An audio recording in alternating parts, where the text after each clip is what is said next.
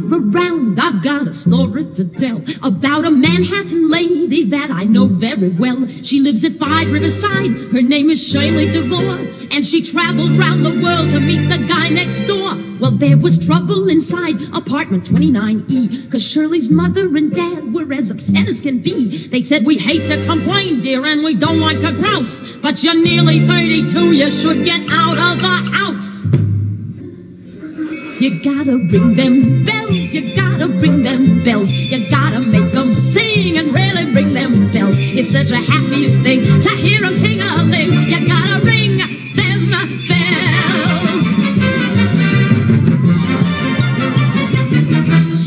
She met a Londoner first, but they did not hit it off. Cause every time she approached, he got a bronchial cough. And so she went to Madrid and met a handsome senor. But he liked to throw the bull and he was no matador. She also found out in Brussels, in Mallorca and Rome. So someone said, try Dubrovnik, dear, before you go home. Cause it's the kind of a town where you'll be likely to fall. And all the Cherny gente find the Balkans a ball.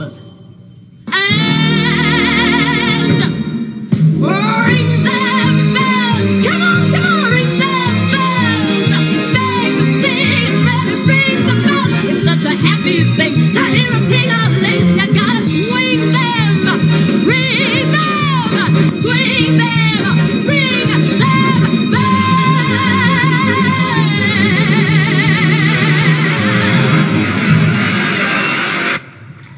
let's hear it one more time for 1137. Ring them bells.